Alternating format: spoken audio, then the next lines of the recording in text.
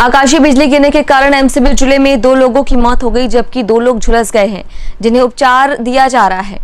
ज़िले के जनकपुर और ग्राम बरहोरी में घटना सामने आई। बताया जा रहा है कि शाम के वक्त पीड़ित घर के बाहर खड़े थे, जब यह घटना घटी। इस घटना में मारे गए लोगों के कारण क्षेत्र में मातम का माहौल पसर गया है। छत्तीसगढ़ में हो रही झमाझम बारिश के कारण ग्रामीण क्षेत्रों में आकाशीय बिजली लोगों के ऊपर कहर बनकर टूट रही है। गाज की चपेट में आने से लोगों की मौत होने का आंकड़ा लगातार बढ़ रहा है। एमसीबी ज़िले में आकाशीय बिजली गिरने की दो घटनाएँ सामने आई जिसमें दो लोगों की मौत हो गई, वहीं दो लोग घायल हुए हैं।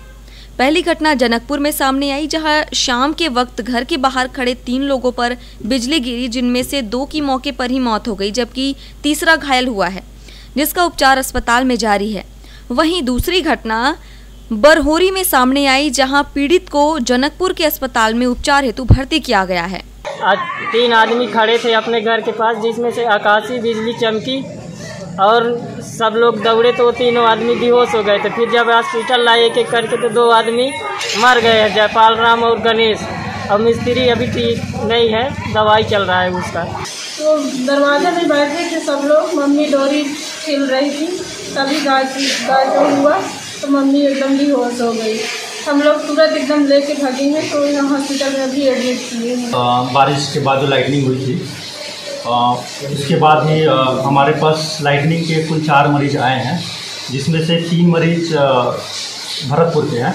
इन तीनों मरीजों में ऊपर के दो मरीज़ गणेश और जयपाल की मृत्यु उसी स्पॉट पर ही हो गई थी, जिनको यहाँ पर मृत लाया गया था।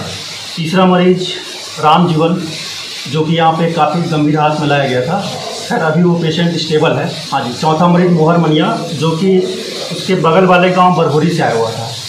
ये फीमेल अभी उसकी हालत उतनी अच्छी नहीं है तो उसका इलाज कर रहे हैं अभी। आकाशीय बिजली गिरने के कारण जिस तरह से दो लोगों की मौत हुई, उससे जनकपुर इलाके में मातम का माहौल पसर गया है।